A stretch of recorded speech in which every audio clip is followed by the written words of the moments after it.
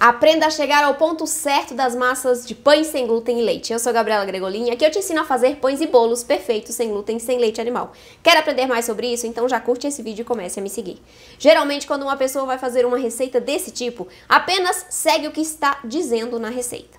Mas existe um ingrediente em especial que, mesmo tendo uma quantidade determinada na receita, você precisa considerar algumas coisas para chegar ao ponto certo da massa usando ele e esse ingrediente é a água. O problema que pode acontecer e que envolve esse ingrediente é que nem sempre a quantidade de água vai ser a recomendada na receita. Pode ser mais ou pode ser menos. Isso acontece a depender dos tipos de farinha sem glúten usadas na receita, já que cada uma possui diferentes níveis de absorção de líquidos. As integrais absorvem mais do que as brancas, por exemplo. Algumas marcas também podem provocar essas diferenças. No caso do pão de forma, por exemplo, o ponto da massa é mais cremoso, ela gruda bastante nas mãos. Então, para chegar ao ponto certo, a primeira coisa que você precisa fazer é conhecer as farinhas usadas na receita e usar a quantidade de líquido indicada como um parâmetro e não como algo escrito em pedra. Entender a necessidade da massa e aumentar ou diminuir a quantidade de água conforme a necessidade das farinhas. Saber o ponto certo de cada massa é simples, basta você entender como funcionam as farinhas e praticar. Sabendo disso, você alcança esse tipo de resultado, olha só.